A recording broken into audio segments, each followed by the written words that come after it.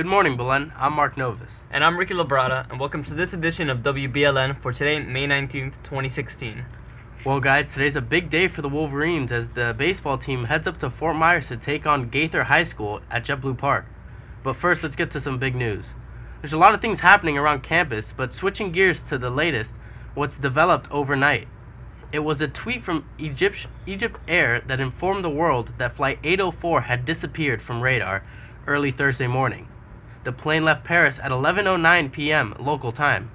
There were 66 people on board from a dozen nations on board. 56 were passengers, including two infants and a child. There were 10 crew members, two cockpit, five cabin, and three security. Flight 804 was bound for Cairo, where it should have landed at 3:15 a.m. Airline officials say the plane was between Greece and Egypt, flying at 37,000 feet when it went missing. Greek and Egypt rescue crews are searching the southern Mediterranean by air and by sea. The airline says last contact with the jetliner was 280 kilometers or 175 miles off the Egyptian coast. That's about halfway between Greece and Egypt. Congratulations to Michael Cairo, who won an honorable mention at, toni- at last night's Silver Knight ceremony for his project in the category of speech and debate. He received a plaque and a leader and a scholarship check for $500. The tech team is getting ready for the iPad refresh before we leave for summer. All students with the iPad Air will be receiving an iPad Air 2 with 64 gigabytes of storage in space gray. Please check your email for more information and on the return and pickup process. If you have any questions, please contact the tech team at support at belenjesuit.org. Belen Summer Camp is looking for junior counselors and counselors in trainings and lifeguards to join our 2016 summer camp staff. Applicants must be 15 years or older prior to June 16th and be in good academic standing with a clean disciplinary record. Applications are available at belensummercamp.org. Junior counselors and counselors in training applications are due by May 16th, May 17th. Senate Democrats make an effort Wednesday to push ahead with President Obama's Supreme Court pick, Judge Merrick Garland. Senate Democrats filed in one by one for a mock hearing in March. President Obama nominated Garland to replace Justice Anton Scalia, but his nomination essentially stalled because Sen- Senate Republicans refused to hold confirmation hearings. Since the Democrats, the Senate minority, can't officially hold a hearing, these members of the Judiciary Committee held a so called non hearing with paper nameplates, witness testimony, minus Garland himself, and not one Republican site. Prime Minister Justin Trudeau angered some of the members of the opposite party after he was accused of manhandling the leader of the opposition party.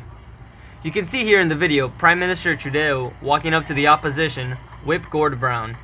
He grabbed him and led him away.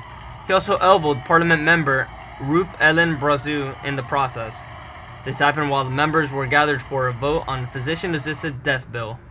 Trudeau later apologized for his actions, which were deemed by some as violent.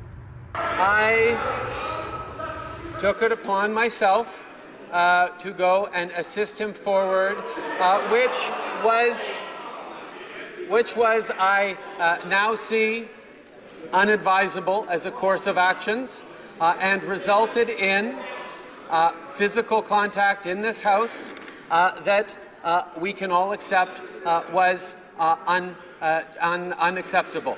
And I apologize for that unreservedly, uh, and I look for opportunities uh, to make amends uh, directly to the member uh, and to any members uh, who feel negatively impacted by this by this exchange and intervention, because I take responsibility. The Prime Minister says he grabbed Mr. Brown because he was talking too slowly ahead of the vote.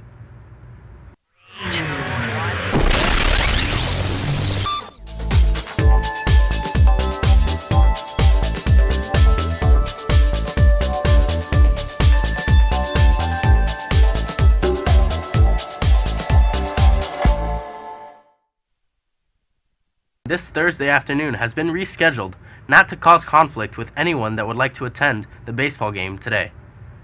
The elections will take place on Wednesday, May 25th during homeroom. This spectacular sight was captured in Maine on a police car's dash cam Tuesday. A police sergeant was on patrol early Tuesday morning in Portland when the camera recorded a bright and burning mass hurtling through the sky. The American Meteor Society says it received 240 reports of sightings from people living from New Jersey to Quebec, Canada. The society believed it's a fireball, which is what they say is a very bright meteor.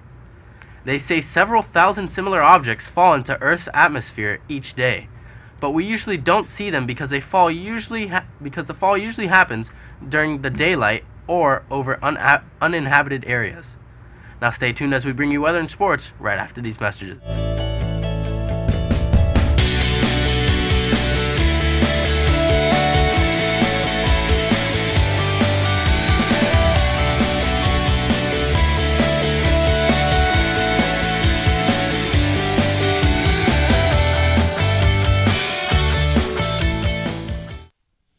Guys, we're getting things ready for the Belen Youth Mission trip, so we're having the drive uh, to collect all the things that we're going to need to be able to take over there and also distribute to the poor campesinos in the Dominican Republic.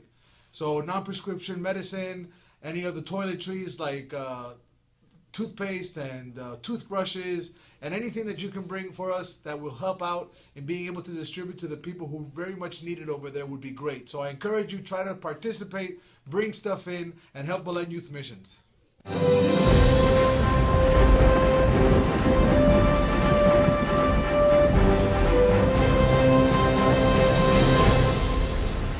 morning, guys. Hey, it's finally game day, so let's take a look at the map. As you can see, the south area where Key West is is getting battered by rain, but luckily for all you baseball fans traveling to the game in Fort Myers should be fine because look, there's no cloud coverage. So let's look at the highs and lows. Should be high 86 and lows 77 with relative humidity at 71%. The winds coming from the south at 11 miles per hour. Should be thunderstorms with an 80% chance of rain. And for Friday, Saturday, and Sunday, we should, we should be expecting highs in the mid 80s and lows in the mid to upper 70s with a low chance of rain tomorrow, but on the weekend it should be pretty rainy, so uh, keep your mind on that. That's all for weather. Now let's pass it on to sports. Well, thank you, Frankie. Attention, any current 8th, 9th, 10th, and 11th graders interested in varsity co- cross country. There'll be a meeting on Wednesday, May 18th at 3:30 p.m. We will be meeting in the wrestling room. All you need to enter is the desire to race. Any athletes who did not attend the varsity or junior varsity sports banquet again, you can pick up your letter from Coach Victor's office the entirety of this week. Well, today's the varsity baseball game, and they'll go up against Gaither High School. The game will take place at JetBlue Park, and game time is 1 p.m. You can check out all the listings on Twitter. Our own Nick Carvajal will be keeping you updated. This Friday morning during homeroom, there'll be a donut sale. Members of the varsity football team will be coming to each homeroom. Donuts are $1 each and can also be purchased by the dozen. Good luck to all you guys. Now that's all for sports, and back to you at the desk. Before we sign off with this year, we would like to thank everyone for watching and tune in next year when we will bring you new stories, new crew members, new set, and much, much more.